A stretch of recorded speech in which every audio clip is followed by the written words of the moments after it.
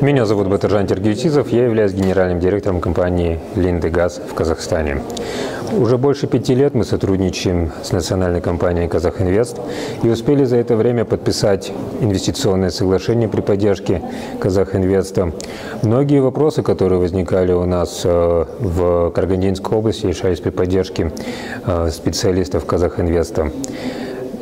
На самом деле на памяти только хорошее взаимодействие, и я уверен, что в будущее наши проекты также не обойдут стороной поддержка Казахинвеста.